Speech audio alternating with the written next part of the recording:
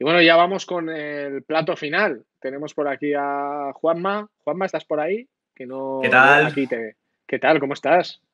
Bien, aquí andamos. Hombre, veo que tu caso no es como el de Mitchell, o sea, tú realmente te pareces a tu gemelo de la foto. bueno, un poco más maquetado en la foto.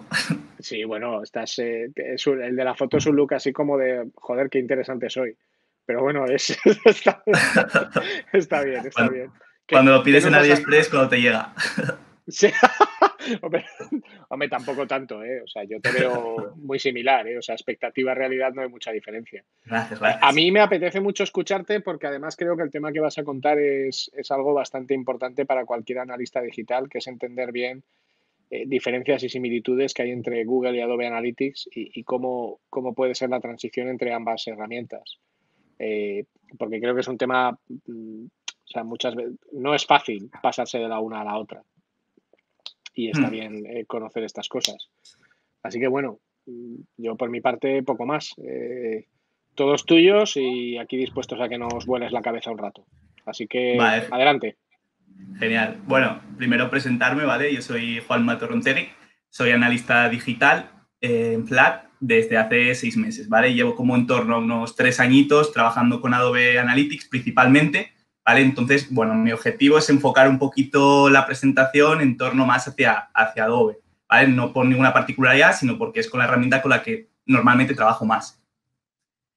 El objetivo de la presentación, ¿vale? Bueno, pues es ver las diferencias y similitudes entre ambas herramientas.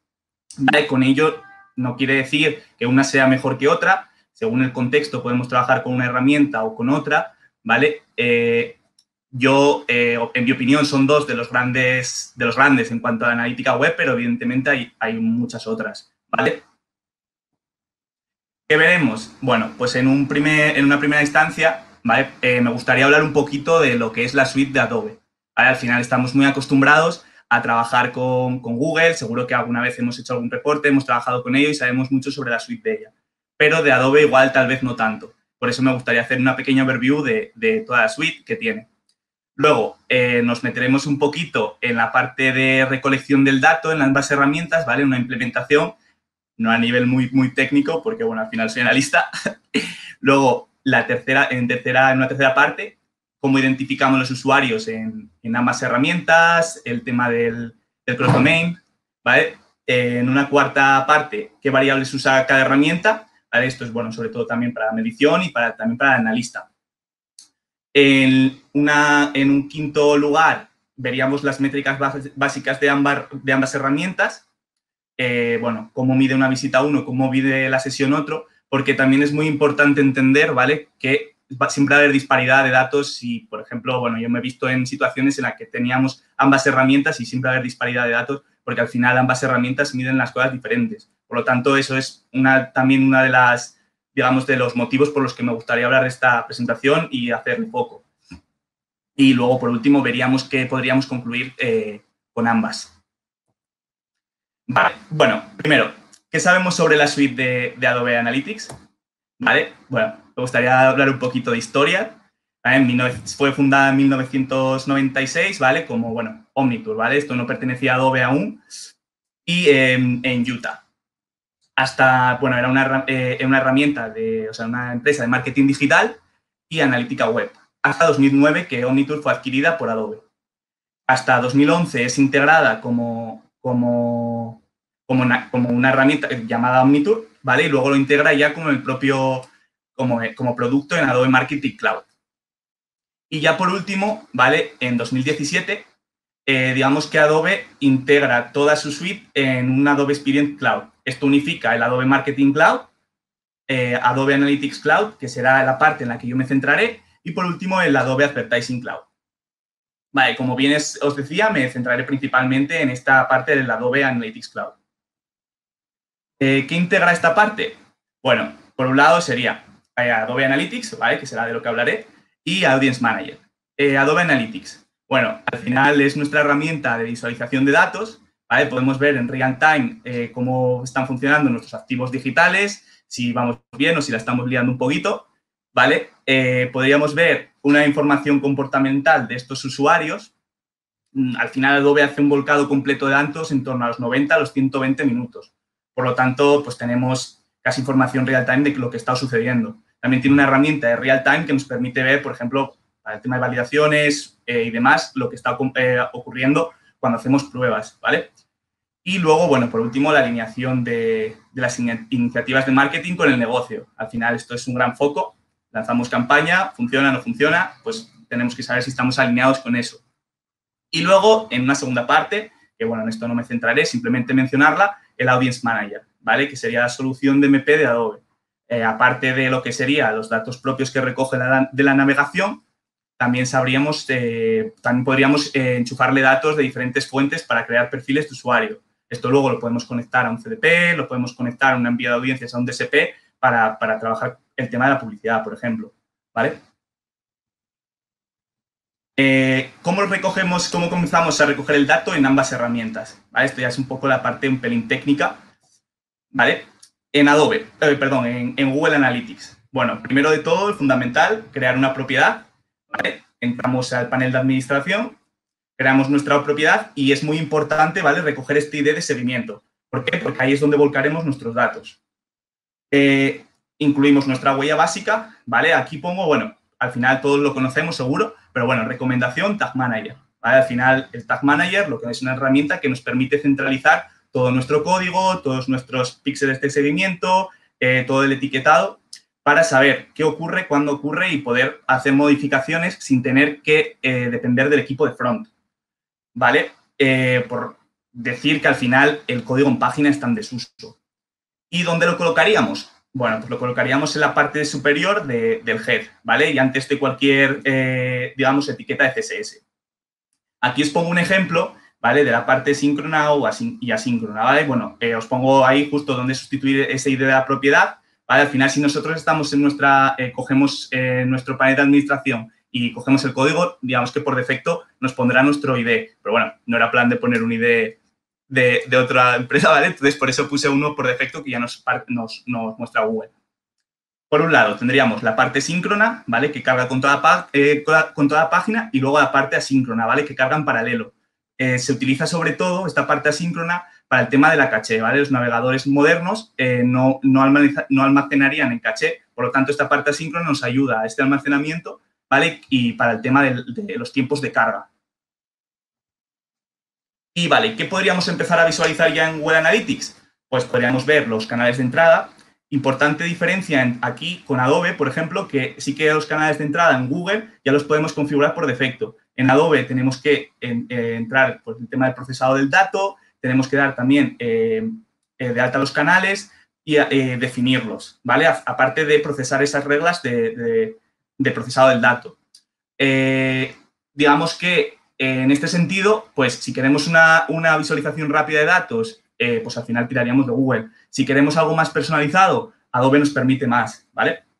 Luego, ¿qué más podríamos ver? Pues las páginas más visitadas, el tiempo total en el sitio web, los enlaces internos clicados. Vale, no hemos configurado los, defectos, los, eventos, por lo tanto, solo podríamos verlo a nivel de, página. Eh, luego, la ubicación geográfica del usuario, el navegador y el sistema operativo que usan, ¿vale? Por, lo tanto, en este punto quedarnos con que, eh, digamos que Web Analytics es, más eh, sencillo de implementar, no con ello fácil, ¿vale? No quiero desprestigiar a mis amigos técnicos. y después, en Adobe Analytics, ¿vale? Eh, ¿Qué deberíamos de hacer? Pues bueno, deberíamos de incluir la, librería del App Measurement. ¿vale? Esto, digamos que son, define toda la funcionalidad de, nuestra, de nuestra cuenta de Adobe compuesto por cuatro grandes bloques. Por un lado, la configuración de las variables, ¿vale? Aquí digamos que controlaremos y procesaremos todos los datos. Eh, ¿Qué ejemplos de variables deberíamos de configurar? Y las más importantes, pues bueno, ese account, ¿vale? Que sería la report suite a la que vamos a enviar nuestros datos. La report suite, eh, por así decirlo, extrapolándolo a Google, sería la propiedad, ¿vale? El S-Tracking Server, ¿vale? Sería el servidor eh, al que enviamos los datos Adobe el S-Track eh, Download Link, que sería el seguimiento de los enlaces a los archivos de descarga o vínculos de salida.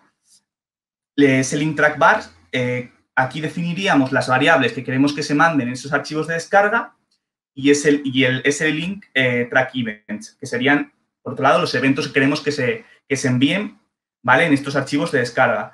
Un punto aquí es que podríamos hacer una configuración automática, ¿vale? Para, hacer, para que estos archivos de descarga, pues, hiciésemos seguimiento de ellos, o estos vínculos de salida, ¿vale? Esto es interesante. Luego, la segunda parte, eh, la definición del s.doplugins, ¿vale? Eh, digamos que nos permite modificar nuestras variables, eh, sobreescribiendo cualquier valor. ¿Y esto por qué? Porque al final es lo último que, se, lo último que se lee del código antes de enviarse a los servidores de Adobe. Por lo tanto, aquí podríamos modificar las variables que previamente hemos configurado ¿vale? y sobreescribiría ese valor. Después, en un tercer lugar, bueno, eh, esta sección, ¿vale? Lo utilizaríamos para definir los plugins. Los plugins son, son pequeños scripts de JavaScript que nos ayudan a, eh, digamos, ver eh, mejor, digamos, un añadido al comportamiento del usuario, ¿vale? históricamente se utilizaban más. ¿Por qué? Porque antes no había una herramienta como Workspace tan potente y entonces, por ejemplo, antes para la medición de si un usuario es nuevo o pues un prospect, se utilizaban este tipo de plugins. Ahora ya han quedado un pelín en desuso, ¿vale? Pero bueno, os añado alguno, ¿vale? Por ejemplo, el get percent, eh, page view, que nos diría, digamos, el scroll del usuario, o el get page load time, ¿vale? Que se utiliza para los tiempos de carga. Después, por último lugar, en último lugar, ¿vale? Sería eh, la definición del core de la librería. Vale, eh, recomendable no tocar, ¿vale? Esto Adobe nos lo matiza mucho, de que esta parte del código pues no deberíamos de tocarla. Sería el appmeasurement.js que define, eh, por un lado, el objeto S, ¿vale? Que es donde configuramos las variables, y por otro lado, las funciones de envío, tanto la ST como la STL, ¿vale? el S.T sería el envío de page view y el S.tl sería los eventos asíncronos, ¿vale? Que ahí es donde los, los definiríamos. Como podéis ver, ¿vale? En el código, pues es un tanto mayor que, que el de Google. Por eso aquí, bueno, eh, a diferencia de Google, ¿vale? Nos permite una mayor personalización de todo lo que queremos medir y cómo. Entonces, es un poco la gran diferencia en ese sentido entre ambas. En un tercer lugar, ¿cómo identificamos a los usuarios? Por un lado, Google, ¿vale? Eh, principalmente nos fija dos cookies de primera parte. ¿vale? Por un lado, la GA, ¿vale? Que es la principal para distinguir el usuario tiene una, caducidad en torno a los dos años, ¿vale? Pero que podemos modificar. Y luego la HIT, que es eh, la, cookie de sesión. Podríamos incluir también la GAT, ¿vale? Que, o sea, que también se define, que digamos que limita los porcentajes de, peticiones, pero bueno, ha incluido las dos principales. Usa siempre el mismo identificador y en sus peticiones, en los hits que mandamos, nos lo envía a través del zip. Identificación del usuario, bueno, identifica un dispositivo navegador. Esto es un basic de, de analítica, ¿vale? Que al final nosotros no vemos eh, usuarios, vemos eh, navegadores o dispositivos, ¿vale? No sé que el usuario se logue. ¿Cómo hago la medición cross-domain? Bueno, pues deberíamos, por un lado, eh, digamos, habilitar el seguimiento multidominio del dominio A, ¿vale? Vamos a dar dos ejemplos, dominio A, dominio B. Seguimiento multidominio lo configuramos en el dominio A, ¿vale? Y podemos, ahí ponemos los dominios que queremos seguir y en el dominio B hacemos, configuramos el parámetro low linker. ¿Qué ocurriría? Que del dominio A al dominio B le pasamos el valor de la cookie GA a través de, la URL y en el dominio B, digamos que dice, vale, tengo aquí este valor, lo compilo, lo guardo en esta cookie y para futuras sesiones lo tenemos ahí. Y eh, en contraposición, en Adobe, vale, ¿cómo hace la identificación? Pues bueno, aquí, según la configuración del App o, y la navegación podemos hacerlo eh, diferentes métodos, ¿vale? Al final tiene varias cookies identificativas, pero bueno, me he centrado principalmente en dos. Por, una, por un lado, la primera parte, que sería la MCV, que sería el Adobe Marketing Cloud ID, y por otro lado, en, la, en, tercera parte, ¿vale? La cookie de tercera parte, ¿verdad? sería la Dendex. Entonces, ¿cómo haríamos el cross-domain? Bueno, pues Adobe, al fijar esta cookie de primera y tercera parte, lo que hacemos es que cuando vamos a un, dominio diferente, bueno, obviamente nuestro, eh, pregunta a la, cookie, la cookie de primera parte, la MCV, ¿existes? Bien, pues entonces seguimos la navegación, no hay problema. Si, si no existe esa cookie de primera parte, pregunto a la de tercera parte, que no existe, fijamos las dos, ¿vale? Y así tendríamos que, se, comenzaría otra vez el, el bucle. ¿Qué pasa? Esto es un problema en, en, iOS, ¿vale? Porque iOS no, no acepta las cookies de tercera parte. Luego, en un cuarto lugar, eh, ¿qué variables se usan en cada herramienta? Eh, aquí eh, también matizar el punto, ¿vale? De que no existe una variable igual en Adobe y una variable igual en Google, ¿vale? Son parecidas en algunos casos y no he definido todas, ¿vale? Porque me ha costado encontrar en Google algo que sea igual exactamente que los eventos, ¿vale? Los eventos, extrapolándolo a Google, tal vez podrían ser los, los, los asíncronos, ¿vale? Los STL que he mencionado anteriormente, pero aquí no los he añadido. Vale, en Google, por un lado, tendríamos las Custom Dimensions, ¿vale? Que las utilizamos para enviar datos personalizados a, Google. Debemos, debemos, configurarlas previamente en nuestra herramienta, ¿vale? bueno, al final deberíamos definirles un nombre, un alcance. Si es producto, sería este valor saltaría solo por el producto que hemos, que hemos configurado. A nivel de hit, vale, pues aquí eh, os diría que una, eh, una custom dimension a nivel de hit, de hit sería, eh, extrapolando a Adobe, una prop, sería una prop, ¿vale? ¿Qué quiere decir esto? Que al final solo saltaría en allí donde la configuremos, ¿vale? Y tomaría valores solo en esa página. Por ejemplo, una page view, le configuro un prop o un hit, solo cojo aquí. Sesión, tomaría el último valor que, ha, que ha, tomado, que ha tomado a lo largo de, la sesión, ¿vale? Y esto extrapolándolo eh, a Adobe sería una IBAR. ¿vale? Aquí hablaríamos ya de persistencia, que toma valores a lo largo de la sesión.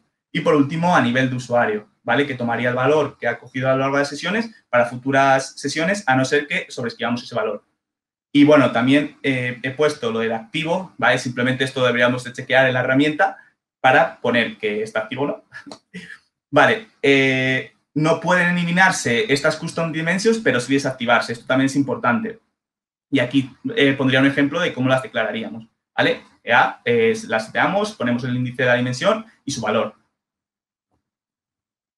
Por otro lado, en, Adobe Analytics, eh, perdón, las Custom Metrics. Bueno, ahí estas las, usamos como contador de interacciones, ¿vale? Solo pueden enviar valores numéricos, monetarios o de tiempo. Eh, nuevamente, las setearíamos, es parecido a, las custom, ¿vale? También, bueno, matizar un poco el punto de que las custom metrics, la verdad es que no se, se utilizan demasiado. Normalmente se suele usar la Custom Dimension o los eventos, pero bueno, las, los he puesto porque digamos lo que más se puede parecer a los eventos de Adobe. ¿Vale? Eh, alcance sería a nivel de producto, si los configuramos, ¿vale? Para que tome valor en el producto que decidimos o a nivel de hit. Y nuevamente, comprobar en la herramienta que está activo o no. Eh, como mencionado anteriormente, las custom, las custom Dimension como las Custom Metrics no pueden eliminarse, pero sí desactivarse y las declararíamos exactamente igual que, las custom dimension, pero bueno, en este caso sería una métrica. Vale, ahora por otro lado, ¿vale? Las variables en, Adobe Analytics. por un lado tendríamos las variables de tráfico, haciendo un repasito, eh, es lo que comentaba que sería como las custom dimensions a nivel de hit, ¿vale? Serían variables no persistentes, eh, como comentaba antes, quiere decir esto, que nos, digamos que no coge valor, no toma valores a lo largo de la visita. Luego, eh, que contaría el número de veces, de veces que enviamos el valor que recoge la variable de tráfico. Lo mismo, declaro una prop a una, en una page view, cojo ese valor y me quedo lo que ha saltado en esa page view. Nada más, ¿vale? O en otro sitio donde las definamos. Eh, predefinidas, pues tendríamos el name, ¿vale? Que si no le definimos un nombre a esa página, eh, por defecto Adobe nos recogería la URL. El s.channel aquí normalmente se pone en la sección del site, el s.server, eh, aquí incluimos normalmente el dominio y el type. esta variable se suele utilizar para, mandar los, los, errores de página, ¿vale? O sea, si te sale un 404. Eh, ¿qué, variables eh, de tráfico personalizadas tiene Adobe? Bueno, como os he comentado, las, las s.props. Debido a, la persistencia, ¿vale? Adobe siempre recomienda mejor el uso de, las IVAs, porque nos da una visión digamos, eh, de todo el path que hace, puede hacer el usuario. Y luego, por otro lado, tenemos las variables de conversión. ¿vale? Estas son variables persistentes, es decir, que sería, eh, cogería, digamos, scope a nivel de, sesión y eh, por defecto la persistencia se recoge en un marco de visita, pero igual nos interesa a nivel de conversión, por ejemplo, ampliar un marco eh, de más tiempo.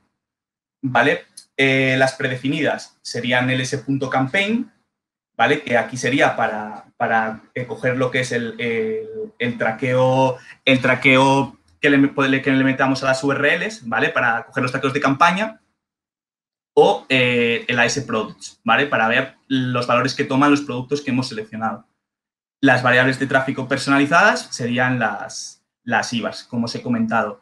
Eh, aquí no lo he mencionado, eh, sería extrapolándolo a Google, lo más parecido que pueda haber sería una custom dimension a nivel de sesión. Y luego ya por último eh, quería mencionar, ¿vale? Las variables de lista. Esto, esto Google no lo tiene. ¿vale? Funcionan parecido a las IVAs, ¿vale? Se nos permite, digamos, setear tres por repositorio, y lo que podemos hacer es, digamos, enviar en, un mismo hit varios valores. ¿vale? Tenemos aquí un ejemplo eh, en la foto, ¿vale? De estamos metiendo en una misma variable varios valores, pero luego, sin embargo, en el reporting lo veríamos diferenciado. ¿Qué tipos existen? La, por un lado, la list props, Esto se lanzó inicial, inicialmente. Tú al final, cuando, cuando vas a la report suite y quieres configurar una prop, te da la opción de, de crearlo a modo, vista, a modo lista. Eh, esto al final lo que hizo que Adobe lanzó el list bar, ¿vale? Para, digamos, dar esa persistencia y sería una mezcla entre las props y, las, y la IBAR, ¿vale? Con persistencia. ¿Y qué usos prácticos podríamos hacer de esta, de esta variable lista? Pues recoger todos los tests que se muestran al usuario, eh, recoger los valores de producto que se añaden al carrito al usuario, los anuncios mostrados, ¿vale? Y por último, eh, los eventos en Adobe Analytics. Vale, los eventos son contadores que recogen las diferentes interacciones eh, de los usuarios en nuestro site. Pueden ser configurados como moneda o como valor diferente a uno. Lo normal es que lo pongamos a, uno. Eh, ¿Qué tiene diferente de Google? Pues la persistencia. ¿Vale? Lo que podemos hacer es que estos eventos los podemos configurar, configurar a nivel de visita, ¿vale? Es decir, va a tomar valor solo una vez en esa visita, a nivel de hit, que salte, digamos, eh, varias las veces que digamos que, lo, que, ocurran a lo largo de la sesión o, en la serialización, serialización, ¿vale? Y meterle un identificador a este evento, ¿vale? Para que una vez que la herramienta vea que ha saltado este identificador, lo, lo cojo y ya no lo, digamos, no, lo, eh, no cogería más ese valor. Eh, los predefinidos por, por Adobe, pues sería el para los e-commerce, ¿vale? Que sería la Product View, eh, que lo lanzaríamos en una vista de producto, el SC View, que al final sería una vista al carrito, el SC Open, ¿vale? Que sería, pues, una vez que se abre el carrito, los, S, los SCA, que sería los Add to Cart, ¿vale? Y el Purchase, que añadiría uno a las orders. Vale, y bueno, ahora quería hablar de las métricas básicas de ambas herramientas. ¿vale? Como os decía antes, eh, al final cada uno contea diferente, de diferente manera eh, tanto en las visitas como sesiones, ¿vale? Posiblemente me, liaré hablando de, visita en Google y sesión en Adobe, ¿vale? Normalmente estoy acostumbrado a decir visitas, ¿vale? Bueno, eh, ¿qué, define una sesión, para, qué es una sesión para Google? Que esto también lo podemos extrapolar a Adobe. Pues serían los conjuntos de hit que se dan en un sitio web durante un periodo de tiempo determinado, ¿vale? Eh, una vez pasados estos 30 minutos de inactividad, esto se tomará como una visita, como una nueva visita o sesión. Aquí la diferencia entre uno y otro es que fuerza, o sea, fuerza una nueva visita en ambas herramientas. Por un lado, en Google, pues los 30 minutos de inactividad, como en Adobe, ¿vale? Después de medianoche, es decir, si yo me conecto hoy a las 22, eh, 22.55 o bueno, 23.55 y a las 12.09 el día siguiente, al final me contaría dos visitas. ¿Vale? Y luego los cambios de campaña, es decir, si entro por un canal, eh, un canal y luego entro por otro, eh, esto también me lo identificaría como una nueva sesión, ¿vale? Se rompería. Y luego en Adobe. ¿Qué no fuerza una nueva visita en Adobe? Pues bueno, si cerramos el navegador y volvemos a la misma web a través del mismo navegador, esto no forzaría una nueva visita.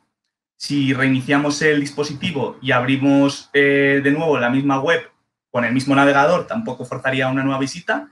El cambio de día, bueno, aquí hay que tener cuidado, ¿vale? A nivel diario, si hacemos, eh, digamos, la visión diaria, nos contaría una visita en un día ¿vale? Y otra visita a otro día. Sin embargo, si vemos, si aplicamos una granularidad de un mes, solo nos contaría una única eh, visita, ¿vale? Por eso hay veces que en los informes puede descuadrar un poquito de mes a mes. Y después, el cambio de canal de entrada, ¿vale? Esto tampoco forzaría una nueva visita en, Adobe. ¿Y qué consideraríamos como una nueva visita? Pues, bueno, como Google, 30 minutos de inactividad o 12 horas, o 12 horas de actividad, los 2.500 hits o 100 hits en, en 100 segundos. Esto sería sobre todo para la exclusión de bots y eh, la entrada al site a través de otro navegador o dispositivo diferente.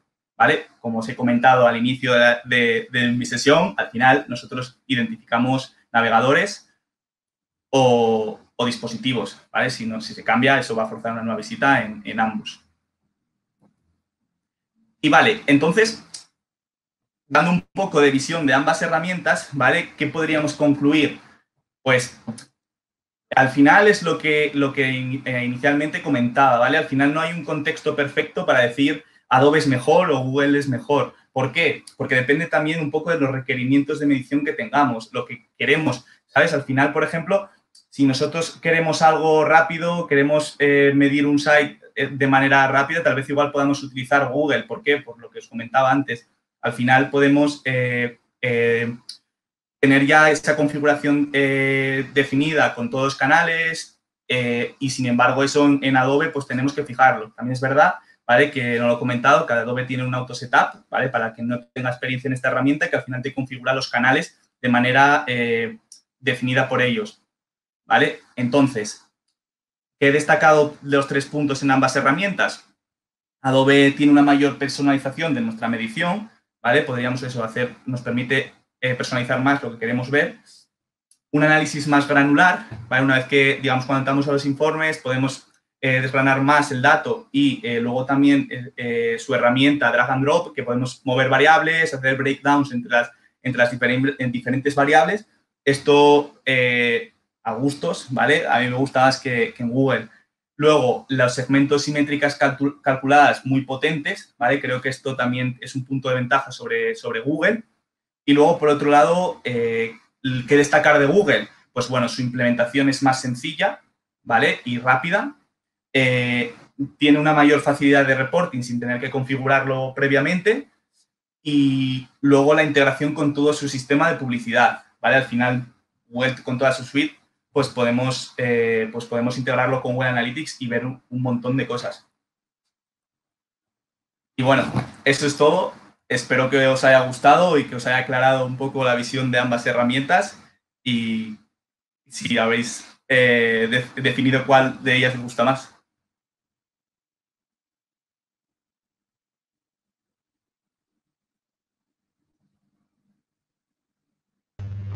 ¿Qué tal? ¿Qué, te sirve de algo? es que, que o no. Pero yo creo que ha explicado es una charla en la que sean similitudes entre Adobe y es algo francamente eh, Ricardo, te estoy robotizado. A ver ahora. Eh, un poquito mejor. Es lo de soplar el AirPod, oiga. No, te agradezco la charla para que, que nadie había eh, las diferencias que hay entre el Espera, que debo de tener algún. A ver. No, no se te oye nada. No conectar momento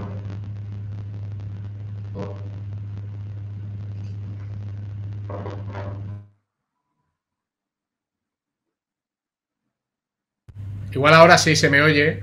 Sí, sí, ahora mucho mejor. Vamos a ver un momento.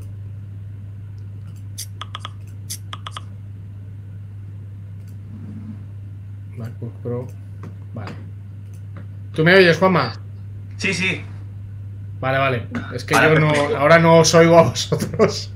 Pero bueno, si tú me oyes, doy por hecho que, doy por hecho que se me oye. Entonces, bueno, no, no hay problema, no pasa nada. No, que te decía que, que, gracias por la charla, porque bueno, yo creo que, por ejemplo, yo nunca había tenido la oportunidad de escuchar a nadie explicando de una manera clara las diferencias y las similitudes entre Adobe y Google Analytics y creo que es algo bastante necesario, eh, sobre todo cuando trabajas y te dedicas a este tipo de cosas. Eh, también aclarar un poco que... O tengo por aquí... Perdona. A ver, eh, varias preguntas y, y, y bastante cachondeo de, de, si soy Darth Vader borracho. Bueno, creo que, creo que ahora se me, se me oye bien, pero bueno, te dejo alguna, alguna pregunta. Lo primero que te quiero poner es un comentario que ha entrado al principio, que me ha, me ha hecho mucha atención, que es lo que te dice aquí Sigdex de Juan Manuel, eres grande, máquina, titán, tiburón, gendarme, monarca, absolutista. Entonces, bueno... Me están troleando mis compañeros de piso, seguro. Tú sabrás, tú sabrás de dónde viene esto. Bueno, eh, hay varias preguntas, te voy a dejar, por ejemplo, esta de Diana te dice, en la list props list bar. ¿Esto lo podríamos usar en Adobe Target? Mm, o sea, eh, esto tendría que preguntarlo a mi equipo técnico, ¿vale? Pero en principio sí. Sí, porque al final tú, eh, Target, estás tirando, digamos, de la configuración que has hecho previamente, ¿vale? Al final es una herramienta que se define inicialmente también de la Presurme.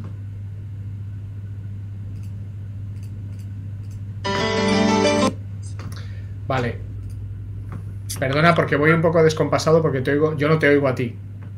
Entonces, entonces me tengo que. Me tengo que ah, vale. Hay por aquí alguna pregunta. Guillermo García dice: ¿Es muy complejo migrar desde GA360 a Adobe? ¿Cuál es más escalable? Pues, hombre, yo la verdad es que no he vivido migraciones como tal. Bueno, miento, sí que he tenido una, ¿vale? Eh, y fue complejo. No, no fue desde 360 a Adobe Analytics, o sea, pero sí que fue desde Google a Analytics. Que al final, más que la, la complejidad de lo que puede llevarte las herramientas, también es ese, ese digamos, eh, eh, hacer que, que, todo el, el, equipo con el que trabajas entienda ambas herramientas, qué va a ser diferente y al final la medición. ¿Vale? A mí lo que me costó principalmente como analista, ¿vale? La parte técnica es una cosa que no podría daros tanta visión, pero como analista sí que me costó mucho. Para mí fue eh, terrible explicar que al final ambas herramientas miden diferente, no, haces, no hacer comparaciones. El problema muchas veces es que ves que, que en Adobe algo igual no se está recogiendo todavía, entonces tiraste los datos de Google y entonces, como digamos, esa evangelización de la herramienta, ya sea una migración desde Google a Adobe o de Adobe a Google, es complicado, porque al final necesitas todo para allá. Entonces, como analista, sí que veía que era complejo eh, evangelizar hacia Adobe, lo mismo que, como he dicho, podría ser hacia Google, pero decir, vale, ahora la herramienta es esta, no vamos a usar otra.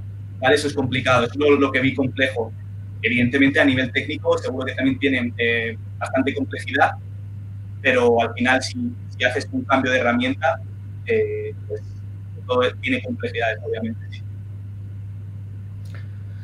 Bueno, pues si te parece bien lo vamos a dejar aquí porque ya son las 7 y 35. Muchísimas gracias por tu tiempo, Juanma, por tu exposición y espero que lo hayas disfrutado en cierta forma y espero que las personas que nos han visto hayan disfrutado también. Así que bueno, mi, mi aplauso en representación de todos ellos y espero que disfrutes la tarde muy a gusto. Bueno, muchas gracias.